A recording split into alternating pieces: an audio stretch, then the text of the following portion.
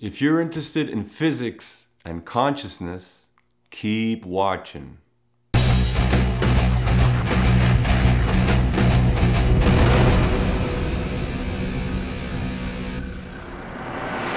Consciousness, physics.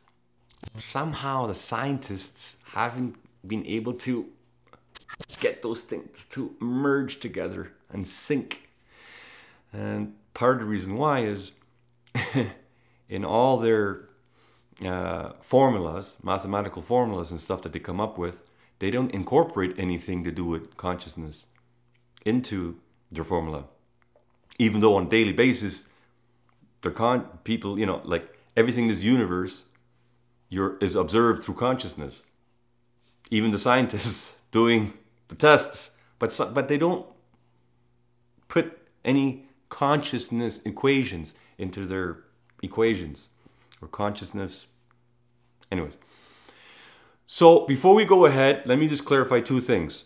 You need to notice A, speed, and mass. Those are two things before, before I get started. Just so to uh, clarify so no one's lost, because this program is all about uh, explaining, um, you know, weird stuff, but low level. We're going to talk in layman's terms consciousness and physics. Okay, first of all, speed. The th- first thing you have to know about speed is uh, you can never measure speed by yourself. If you're floating in space by yourself and there's nothing else in the universe, there's no other planets, no sun, no nothing, it's just you, you're floating in space. Of course, you can't breathe in space, but just as a thought experiment, you're floating in space by yourself you can never know how fast you're going ever. Because you speed is measured against something else against another object. It has a relation speed has a relation to other things. That's how you measure speed. So if you were floating in space let's say you had a suitcase or a briefcase. You're floating in space and you take your briefcase and you throw it away from you. Now that briefcase might be going away from you, traveling away from you in space for at 20 miles an hour. Or you might be going away from that suitcase 20 miles an hour. You'll never know. You can't know. If you have two things, only two things, then you never know who's moving. You don't know if the suitcase is moving away from you, or you don't know if you are moving away from your suitcase. You can't figure that out. That's we haven't be, been able to do that uh, so far in science. So that's a very strange thing. Now, here on Earth, speed, it's always in relation to the Earth. The connection is the Earth. That's the other object that we're calculating from. So if you're going 100 kilometers an hour on the highway, or 60 miles an hour on the highway, that's based on the planet, on Earth. In relation to the Earth, you're going uh, 100 kilometers an hour or whatever, 60 miles an hour. So you might be going seven, uh, you know, 60 miles an hour on the planet, but the planet too is going around the sun, right? So it's going, I don't know how fast it's going. I think it's like 12,000 miles an hour. Don't quote me. I used to know it. I don't, I don't know it by heart. So the earth is also traveling. So now you're not going 100 kilometers an hour. You're actually traveling 12,100 kilometers an hour. But the, the, the, the, the sun is moving too in relation to the center of the galaxy. And the galaxy is moving, so they're all moving. So we will never ever know what the true speed is, ever, because there's no center point of the universe. There's no anchor point where we're going to say, okay, all measurement is based from this. Doesn't exist. So we can never and will never know and we'll never be able to know how fast we are truly moving, the true speed, because it's only in relation to other objects. Okay, so now you understand more, hopefully, of speed, what speed is, how it's measured. The other thing is mass. So it's kind of like weight, but it's not the exact same thing as weight. on on this planet, I might weigh my weight, I might weigh 200 pounds, but on the moon, I'll weigh less. I don't know, 140, I'm not sure. Uh, I'll weigh less, 30% less, something like that, I think. But my mass is still the same. So even though there was nothing changed about me, the mass is still the same, but I'll weigh differently on the moon than on the planet. That's mass. So we clarified what speed is, and we clarified what ma- what mass is. Weight in quotes, but anyways. Uh, so now I can go ahead. Now let, let's let's get on with this program. I said I was going to talk about consciousness and physics. All right. So there are three things I'm going to get into about physics, which scientists have been able to prove now for over 100 years. They've been running experiments over and over and they verify and confirm that this is true what I'm about to say. of course, don't believe me outright what I say. You know, if you do your own research, that's the absolute best. Don't ever take one person's word for it. In any case, uh, these three things. So first of all is if you were in if you were to go in a special spaceship that can go really fast, okay? And it's traveling around the sun in our in our solar system. It's traveling around the sun. And we have on Earth a special telescope that can measure mass. On Earth, we can measure the mass of that spaceship you're in, and we could see you. Actually, we could even see inside the spaceship. So we could see from the outside of the spaceship, and we could see inside of the spaceship and we could measure your mass with this special telescope. So you're traveling around the solar system. What we're going to notice, and this has been proven over and over and over again, this is, this is the thing, it's very strange, but it's true. The faster and faster you travel, your mass will increase. We're going to notice by measuring you from that special telescope, oh, his mass is increasing more and more and more. He's getting closer to the speed of light. Look at his mass. It's now four times heavier, five, hundred times heavier, and so on, a thousand times heavier. Also, we're going to notice that the spaceship is going to start to get blurred and stretched. So let's say the spaceship is going this way. It'll actually, at one point, look like it's double the length triple the length, four times the length, five times the length, a hundred times the length. It's going to get stretched out. And also, if we were able to look at your watch that you're wearing inside the spaceship, we notice that the seconds are clicking slower. You know, on Earth, it would be like click, click, click, click. On the spaceship, if we were if we were able to watch your second hand on your on your clock on your watch on your watch, it would be like click, click,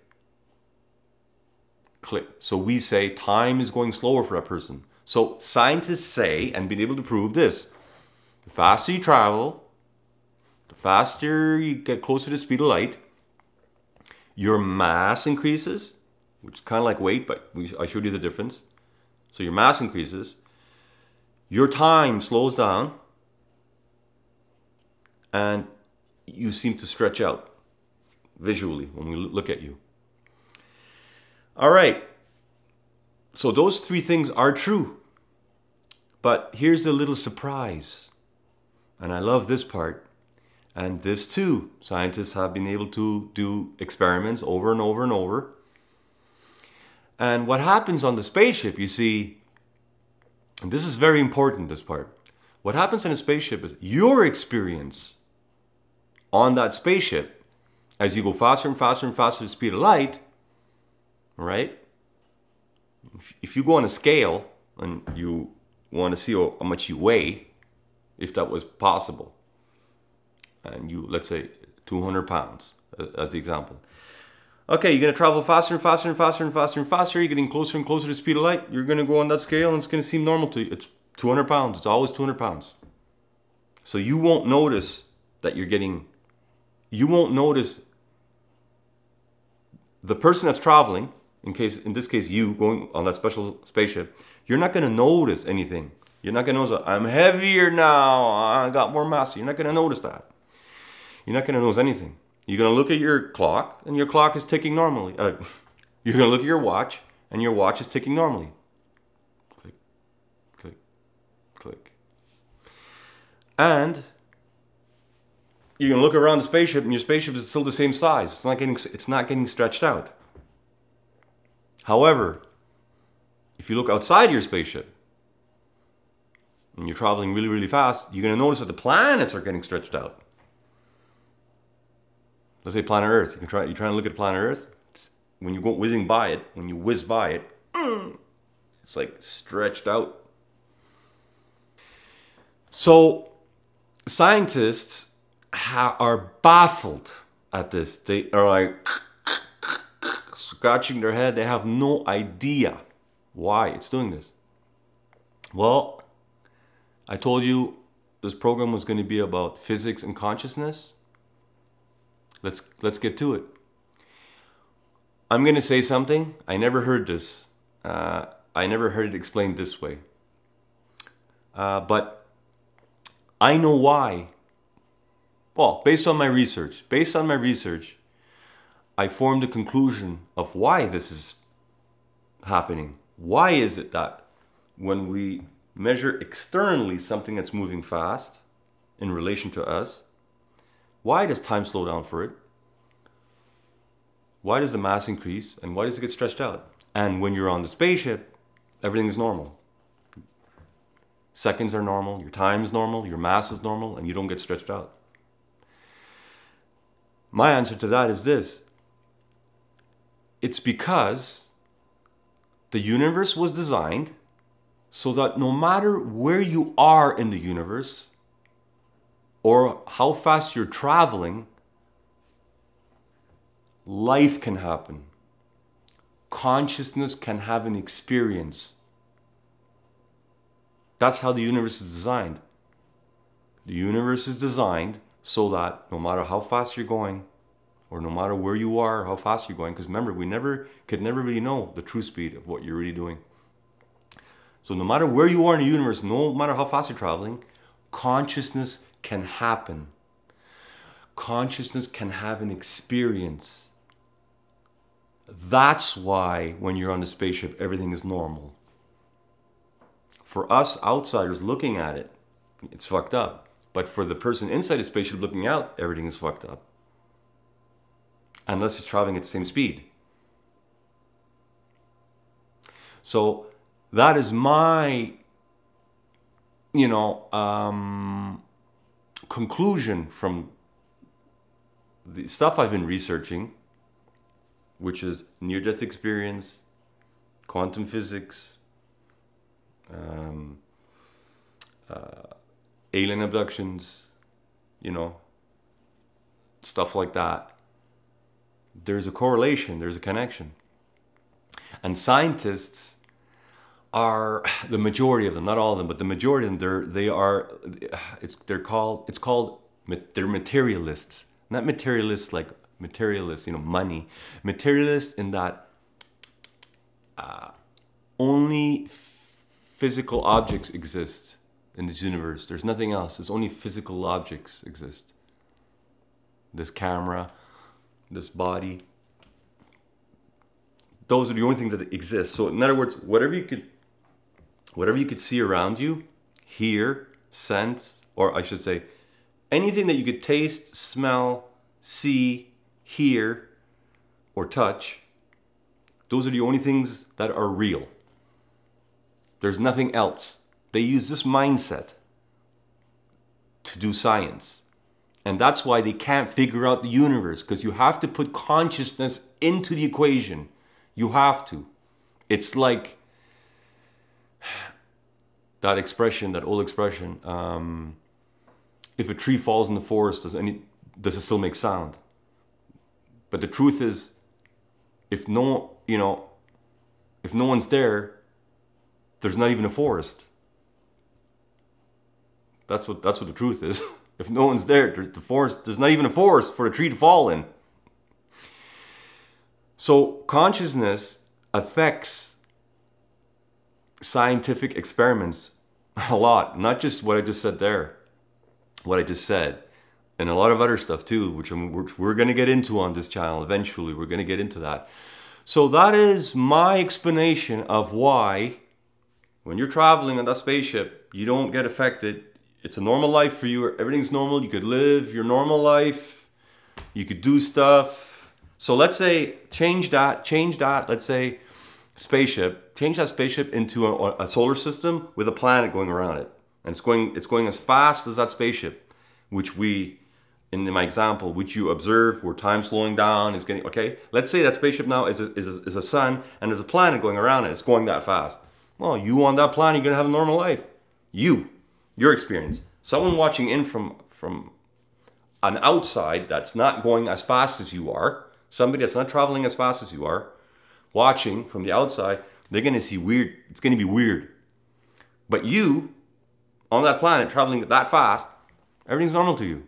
You could walk around, you weigh 200 pounds, you could walk around, everything's cool. You could have a life, you could have experience. Because the universe is, I mean, it's clear to me. The universe is designed specifically for consciousness. It's designed specifically to have, that's the main purpose of this universe. So consciousness can have an experience. And I hope my example there with those, the, three things, when you're in a spaceship, the speed, mass and well the the stretching I, I, don't know how to call that. There's a distortion maybe speed distortion I don't, know if that's the right term. That's why that exists and scientists like uh... hope you liked my explanation.